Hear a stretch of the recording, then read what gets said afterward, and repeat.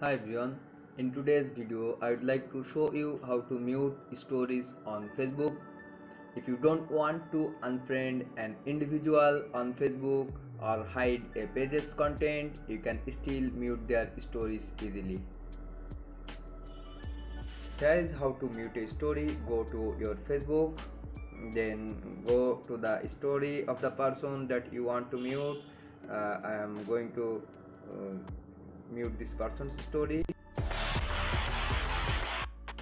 Click on this three dot button here and after that click on this mute story option. Click on this and confirm you will no longer see this person's story anymore.